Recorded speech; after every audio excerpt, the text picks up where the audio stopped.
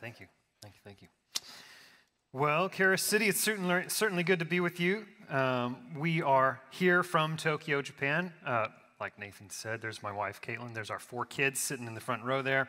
Um, we work with an organization called Mustard Seed Network, and our mission is to glorify God by making disciples through planting gospel centered churches in urban Japan. We moved to Japan 15 years ago. The first two years were filled with language school, just studying Japanese was the full time job. Then we got to be a part of a church plant in the city of Nagoya.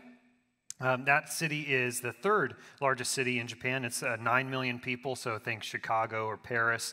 And then two years after that, we moved to a city called Osaka, uh, 19 million people in the Osaka metro area, a huge city. We were there for eight years, and then we moved to Tokyo in uh, 2019. And we uh, got ready to plant a church there in this city in, in 2020. We decided a great time to launch that church would be March 1st, 2020. That was. That was the date that we set on the calendar. So, like you, we are also a pandemic church plant, and yet God has been very good and grown that church, and we've seen God do some awesome things there. So, we now have uh, seven church plants as a part of our church planting network there. Um, uh, the newest one was planted this year in the city of Hiroshima, and uh, more and more people are hearing about Jesus. And so I want to say thank you because I'm actually in front of you right now. I'm glad that we can be in front of you so I can tell you in person, thank you. Uh, for the support that you give because people are hearing the gospel because of the generosity of Charis City. So, Romans 1:16 tells us that the gospel is the power unto salvation. And it's the power unto salvation for people in Tokyo. It's the power unto salvation for everyone in Texas. And we're going to look at the gospel from Exodus chapter 32. If you would go to Exodus chapter 32 uh, in your Bible, on your phone, whatever you use, we're going to jump around um, that chapter. But before we do, I'd like to pray. So let's pray.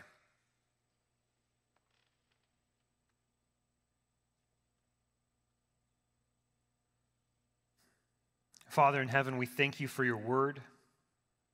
We believe that these things written in your word that they actually happened.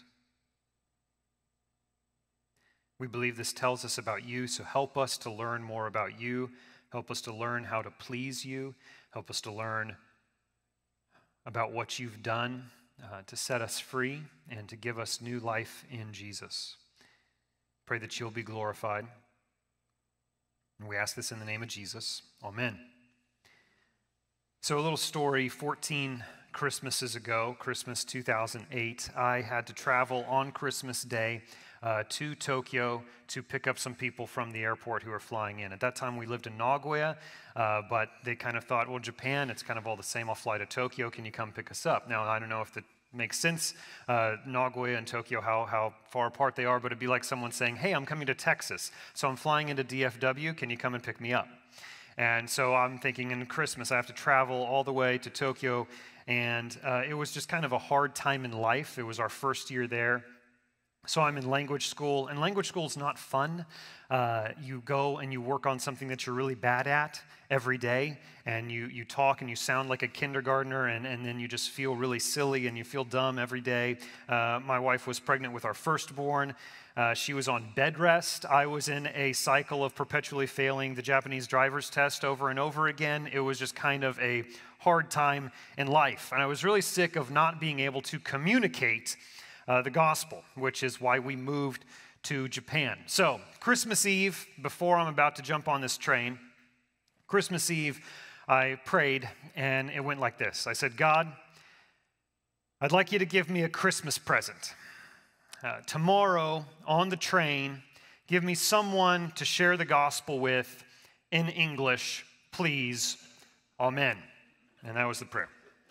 The next day, I went and I stood on the platform, and we're waiting for the, uh, the bullet train to pull up uh, so that I can get on the train. While I'm standing there waiting on the train, I have a tap on my shoulder. I turn around. There's a Japanese woman who's tapped me on the shoulder, and she says, Excuse me, are you an English teacher? And I said, uh, No, I'm actually a Japanese student. Um, I'm studying Japanese right now. And uh, she says, Oh, that's so interesting. I used to be studying English in, in, uh, in Chicago when I went to the University of Chicago. And even though I was surrounded by people who speak English, I realized not everyone wants to practice with you. So I bet you want an opportunity to practice Japanese. Why don't we sit next to each other on the train and I'll help you practice Japanese? And I said, Sure. so we sit down on the train and she says, So what do you do? I said, Well, I'm actually a pastor, and uh, we would like to, in, in the future, start a church. And she says, A Christian church, like a Christian pastor? I said, Yeah. She said, That's interesting. You know, I've never actually heard the main beliefs of Christianity before. Why don't you share them with me in English and then I'll teach you how to say them in Japanese so that you can then teach them to other people? And I said, Okay. So I, then I get to tell her all about Jesus and share the gospel message uh, with this woman. And I couldn't believe that God just gift wrapped this opportunity for us. But I think uh, asking God for opportunities to, to share the gospel is a prayer that He likes to answer. And so then after I shared the gospel message, she said, Okay, that's pretty interesting. But wouldn't it be easier for people to become Christians if they didn't have to believe in Jesus only. Like, I think the message would be more acceptable if people could be Buddhists and Christians at the same time. So, church, what do you think? That would make Christianity more likable to people, right? But I can think of one person who wouldn't like the idea of worshiping both God and false gods at the same time. Who's that? It's God. Yeah. So you've been in Exodus. God has saved the people out of uh, Egypt. He's led them into the wilderness. He's provided for them in the wilderness. And then in chapter 19, uh, God makes a covenant with Israel. He says, I'll be your God. And he asks Israel to follow his commands. All the people say, Yes, we promise to follow your commands. Uh, he gives them the Ten Commandments in Exodus chapter 20. The first two of the Ten Commandments are this Uh, it says here's, here's in verse 3 of chapter 20. In Japanese, it says, Anata ni wa watashi igai ni hokano kami ga atte wa naranai. You shall have no other gods before me. Second, you shall not make for yourself a carved image or any likeness of anything that is in heaven above, or that is in the earth beneath, or that is in the water under the earth. Now, the carved images mentioned here in the second commandment, that would include things like statues of Buddha, which are all over Japan. This includes praying to ancestors, which happens throughout Japan in most households. This includes the thousands of gods of Shintoism, the Japanese folk religion. So remember, these laws, they're given to God's people as a covenant with his people, like a marriage covenant, which is what I explained to the woman on the train. So she says, Why can't we just have people be Buddhists and Christians at the same time? And I said, Well, for Christians, we believe that our relationship with God is like a marriage relationship. And she actually just finished my thought. She said, Ah, so of course you must be monogamous, just married to one spouse. I said, Yes, that's right. This is why we worship God only, only worshiping Jesus. In today's Bible passage, in Exodus 32, the story of Israel, uh, we see the story of Israel worshiping a golden calf. So we see Israel not stay committed to their God, their husband. And not only that, they distorted who God is and worship something else, uh, something else completely different than God in God's name. And here's the main point that we're going to learn it's that all sin is a betrayal of God, which God forgives for the sake of his glory. Now, for many today, uh, you may not believe in God, so the idea that we sin against God when we do something wrong, uh, that, that, that may sound surprising. Like a sin in atheism doesn't exist because absolute morality doesn't exist to atheists, and also God does not exist, so you can't sin against God in atheism. A sin in Buddhism is not a betrayal towards a loving God. It might get you some bad karma for yourself, but it's not, it's not a betrayal against another person.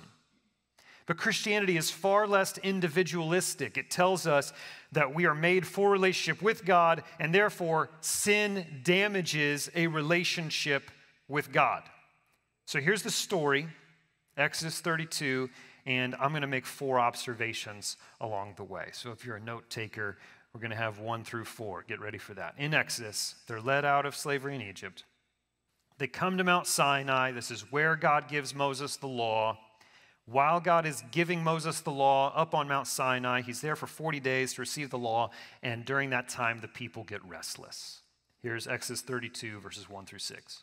It says, When the people saw that Moses delayed to come down from the mountain, the people gathered themselves together to Aaron and said to him, Up, make us gods who shall go before us. As for this Moses, the man who brought us up out of the land of Egypt, we do not know what has become of him. So Aaron said to them, Take off the rings of gold that are in the ears of your wives, your sons, and your daughters, and bring them to me. So all the people took off the rings of gold that were in their ears and brought them to Aaron. Pause right there. Where did they get this jewelry to make this idol? Uh, when God was inflicting the 10 plagues on Egypt in chapters 11 and 12, the Egyptians were giving the Israelites their gold and silver and jewelry as this way to say, Here, take this and just please go, leave us alone. Here you go. Not only that, if you go all the way back to uh, chapter 3, when God is calling Moses, uh, God tells Moses, Go to Egypt, uh, to, say to Pharaoh, Let my people go. And then God says, I will give this people favor in the sight of the Egyptians, and when you go, you shall not go empty. But each woman shall ask of her neighbor and any woman who lives in her house for silver and gold jewelry and for clothing, and you shall put them on your sons and your daughters. So you shall plunder the Egyptians. So, the reason that the Israelites have this gold and silver jewelry is because of God's power. It was a blessing from God in a way that God uh, freed them from slavery in Egypt. And now they've taken a blessing from God and they're about to use it for sin. So often we have blessings from God, like a talent, uh, wealth, an opportunity, and then we use it for sin. Continue on the story, verse 4. It says, And he received the gold from their hand and fashioned it with a graving tool. And he made a golden calf. And they said, these are your gods, O Israel, who brought you up out of the land of Egypt. When Aaron saw this, he built an altar before it. And Aaron made a proclamation and said, Tomorrow shall be a feast to Yahweh, the Lord. And they rose up early the next day and offered burnt offerings and brought peace offerings. And the people sat down to eat and drink and rose up to play. So in verse 1, the people grew impatient and thought Moses had died or abandoned them because he's been up on this mountain for 40 days. Does impatience ever lead us to sin against God? I'm impatient with God's provision of money, so maybe I'll fudge on the taxes. I'm impatient with God's provision of a spouse, so I'll pursue sexual immorality. I'm impatient with people, so maybe I'll say things that I shouldn't say. Now, Aaron, he's supposed to be the leader in this situation, but he completely caved to the pressure of the people. And we have to ask ourselves do the expectations of, of society around us, do the pressures of people around us ever cause us to sin? Do social pressures keep you from opening up to the possibility of following Jesus? Do we take our marching orders from social media or the news? And that goes for the right and the left here in the United States. No one can say, hey, those conservatives, they're trying to brainwash us with media. And no one can say, hey, those liberals, they're trying to brainwash us with media. Both sides are trying to influence people. Everyone is pushing a message, and the Bible is your center. The Bible is our true north. Jesus is the truth. We run to him for a brain detox. Look closely at verse 4, which says, The people then proclaimed regarding the golden calf that Aaron made, These are your gods It's a ridiculous statement. These are your gods, this golden calf that I made five minutes ago. This is the one who brought you out of Egypt. And here's the first point from this story. Number one, the culture of the world can negatively influence our theology, our understanding of who God is. The people had lived in Egypt for 400 years. A little bit of Egypt will wear off on you over 400 years. And in Egypt, they had a pantheon of gods, all these various gods, many gods and idols. And look at how the Israelites say, These are your gods, plural, implying multiple gods, just like the Egyptian worshiped. Further, they made a calf. In Egypt, they worshiped and deified cows, like you can see in this image here. The ideas of polytheism and the belief in multiple gods, the idea of glorifying and worshiping a cow as a symbol of strength and fertility, those ideas, they crept into the minds of the Israelites and affected their understanding of the one true God and how to please God. So we need God's word to correct our theology and practice. Romans chapter 12, verse 2. In the New Testament, it tells Christians do not be conformed to this world, but be transformed by the renewal of your mind, that by testing you may discern what is the will of God, what is good and acceptable and perfect. By living in the world, we have a temptation to conform to it. And we need God's word which is above all cultures and from God, we need it to renew our minds and to transform us. And listen, friends, you cannot be transformed by God's word if you're not reading it. And there's zero excuse to not read it. We have apps, apps on phones for and every device that you could possibly find. Free audio apps. Or you could listen to the Bible on your commute here, let's get practical. I recommend the ESV uh, Bible app. It has an audio function. You can listen to someone with a good old American accent or a Northern Irish accent, which is pretty fun. Uh, you can listen, download for free the CSB, which has a, also a free Bible uh, f- uh, audio function to listen to on your commute. If we have even one streaming service, then we have no excuse to not spend time in the Word of life, asking God to change us and to form us. Your mind will be influenced by something. Let's make sure that our minds are not influenced by the news or social media or the latest author or artist, but by the eternal Word of the living God. Go straight to the source. There's a lot of great things out there, but go straight to the source. Go to the Bible. Take in God's word as your daily bread. The Israelites, they should have remembered the law that they had proclaimed to them. They should have remembered those 10 commandments and remembered there is one God and he doesn't like idols. The Israelites allowed the Egyptian culture of pagan idol worship to affect their theology. But we have to ask how have our cultures influenced our perceptions of God?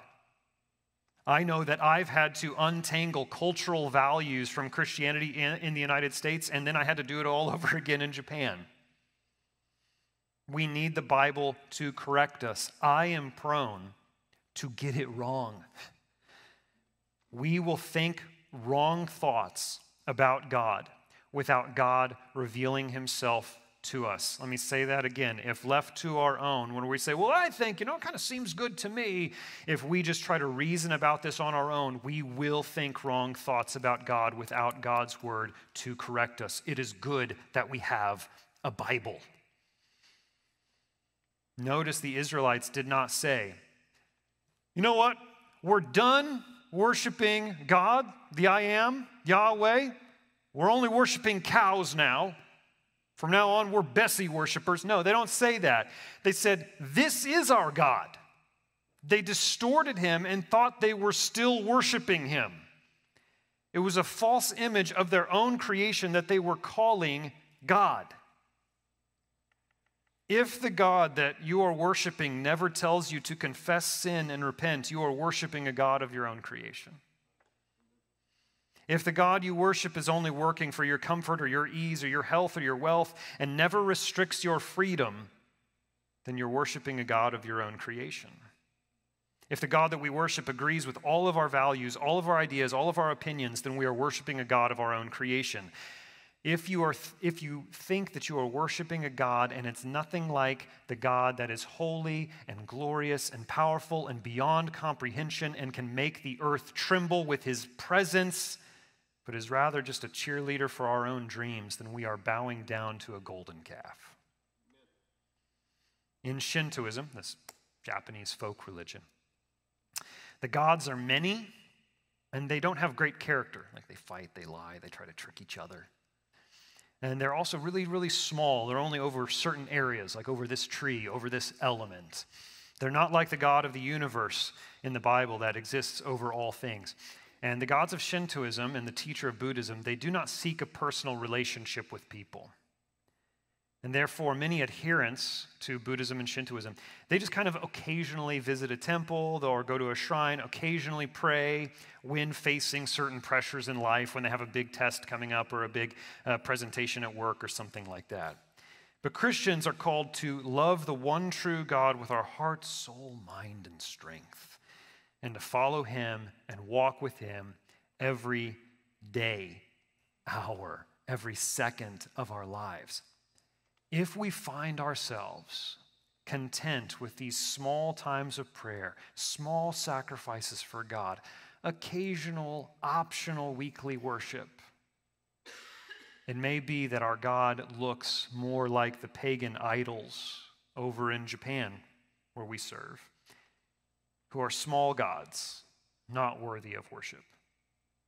Here's point number two from, from this story sin leads us to not know how to live. So, point number one is that sin will, and the culture will affect our understanding of God's nature, what God is like. But number two, it affects our understanding of how to please God. So, I want you to look at chapter 32, verses 5 and 6 again. In verse 5, Aaron builds an altar to sacrifice to the calf and proclaims, Hey, let's have a feast for Yahweh, the name of God, the I am the Lord. It's in all caps in your English Bible. And it almost seems like Aaron is trying to convince himself and convince the people that this horrible sin of idol worship and cheating on their true husband, God, that they're actually doing it for the Lord. But Aaron should have just looked at the plain words of God that he had given them on Mount Sinai to know how to actually please God and do God's will. People today will say, Hey, I really want to know God's will for my life. I want to know what does God want me to do? But here's the thing we can read God's will for our life. Right here, we know that God wants us to love God, love people, forgive, speak the gospel, make, the, make disciples of all nations, help the poor, help orphans, help widows, so forth. There's a lot in there. And in verse 6, it says the people sacrificed to the golden calf uh, and made sacrifices to that calf that they were supposed to make to the one true God of the universe. They then ate and drank and rose up to play. Now, the word play, it has this flirtatious connotation to it. And the original Hebrew word that's in here, it was used in intimate contexts, like in Genesis chapter 26, verse 8, which is describing Isaac in an intimate setting with his wife. So we have this scene of God's people in the wilderness eating, drinking, and then engaging in promiscuous behavior in a huge party that they say they are doing for God. Later in uh, Exodus 32, verse 25, it says the people had broken loose. They'd lost control of themselves. They've gotten carried away at a party. People often live contrary to God's word and then do these mental gymnastics to convince themselves that God actually blesses their actions. Here's the third lesson that we see today sin is shocking. This is very simple, but uh, as we read this story, I think we are supposed to be shocked by how stupid and terrible the sin was. These people saw God work the 10 plagues. These people saw God split the Red Sea. They saw manna on the ground. They saw water coming out of a rock. They saw God provide in these incredible ways. And now they're worshiping this DIY homemade golden calf with drinking and promiscuity. And it gets even crazier and almost laughable in verses 21 to 24. It says, And Moses said to Aaron, What did this people do to you that you have brought such a great sin upon them? And Aaron said, Let not the anger of my Lord burn hot. You know the people, how they're set on evil. For they said to me, Make us gods who shall go before us. As for this Moses, the man who brought us up out of the land of Egypt, and Moses, you were taking a long time, we do not know what has become of him. So I said to them, let any of you who have gold take it off. So they gave it to me, and I threw it in the fire, and out came this calf. I threw the gold in the fire, and the cow popped out, have got to be some of the stupidest words in the Bible. It's like, no, Aaron, let's actually roll back the tape. Go to verse 4 where it says, You intentionally fashioned a calf with an engraving tool. That's enough to establish intentionality and premeditation.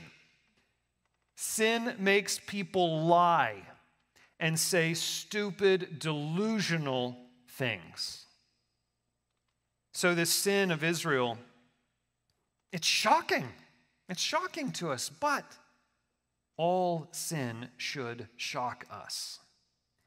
See, we're often shocked when we hear about those big, big sins, right? So we hear someone who has a really good family and then they had an affair, or we hear about someone being jailed for embezzlement. We can't believe it, but all sin should be shocking to us because all sin is committed against a holy God who has provided everything for us. All sin is a betrayal against the Creator who made us. Lies, gossip, coveting, vanity.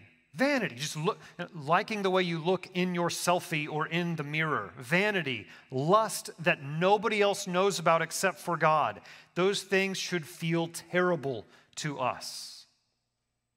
We should not be able to tolerate even a little bit of sin in our lives. It should all seem ridiculous in light of how good God has been to us. And Moses, he was disgusted by their sin. Look at verses 19 and 20. It says, As soon as he came near the camp and saw the calf and the dancing, Moses' anger burned hot. Go ahead and underline burned hot. And he threw the tablets out of his hands and broke them at the foot of the mountain. He then took the calf that they had made and burned it with fire and ground it to powder and scattered it on the water and made the people of Israel drink it. Moses' anger burned hot at sin, which is a healthy reaction towards sin. And you can notice he destroyed the golden calf in three stages. Stage number one, he burned it. Two, I'm going to grind it to powder. Three, he made the people drink it so that it would pass through them into human waste, so that that false God that they used to replace the one true God was totally desecrated, dishonored, and destroyed. And then look at God's reaction to Israel's sin in verses 32, I'm sorry, chapter 32, verses 9 and 10. It says, Yahweh, the Lord, said to Moses, I have seen this people, and behold, it is a stiff necked people. Now, therefore, let me alone, that my wrath may burn hot against them, and that I may consume them, in order that I may make a great nation of you. So, God is ready to just give them over to the just penalty for their sin, which is death. The first sin in the garden of eden it brought death. And romans 6.23 says the wages of sin is death. It would be fair if god wiped them all out. But moses prays to god to ask god to not wipe out the nation of israel and i want you to look at how he asks. Here's how he asks god in verses 11 to 14 but moses implored the lord his god and said o lord why does your wrath burn hot against your people, whom you have brought out of the land of Egypt with great power and with a mighty hand. Why should the Egyptians say, With evil intent did he bring them out to kill them in the mountains and to consume them from the face of the earth? Turn from your burning anger and relent from this disaster against your people. Remember Abraham, Isaac, and Israel, your servants, to whom you swore by your own self and said to them, I will multiply your offspring as the stars of heaven and all this land that I have promised I will give to your offspring, and they shall inherit it forever. And the Lord relented from the disaster that he had spoken of bringing on his people. So Moses appeals to God to save his people, but he does not appeal to God to save the people because they were good and lovable people. He prays, God, save them because other nations are not going to think highly of you if you just brought them out into the wilderness to kill them. They're going to think that you're evil. He prays, God, remember your promises to their forefather Abraham. You said, I'll make your nations like the star, or your descendants like the stars. So basically, Moses prays and asks God to save the people, not because they're worth saving, but for the sake of God's glory. This is point number four God shows mercy for the sake of his glory. This is so important for us to understand because we cannot think that God's number one reason to save us is because we are lovable. Does God love us? Yes, God loves you. But he ultimately saves us for his glory. And this is really good news for us because if God saved us because we are just so lovable, what about when we do something unlovable? What about when we sin? then we would have to worry that God will not save us when we mess up and sin and do something unlovable. And we'd be in this constant state of fear. But God saves us for the sake of His glory. He sent Jesus to die for our sins on the cross and to rise from the dead to pay for our sins for the sake of His glory. So He will be glorified through sinners like us being saved to eternal life with Him. And when we mess up and do something unlovable, remember that God's mercy to you does not change because he is ultimately saving you for the sake of his glory. Ultimately, we can rejoice because of what one British preacher, Charles Spurgeon, said. He said, We are great sinners, but Christ is a better Savior. Sin is horrible and shockingly evil in light of God's goodness. But even more shocking is God's goodness, mercy, and love to send his son Jesus to die on the cross to pay for our horrible sins. We've worshiped golden calves in the form of money and power and fame and comfort and security and selfishness. But Moses is not the one who intercedes for us. Jesus intercedes for us.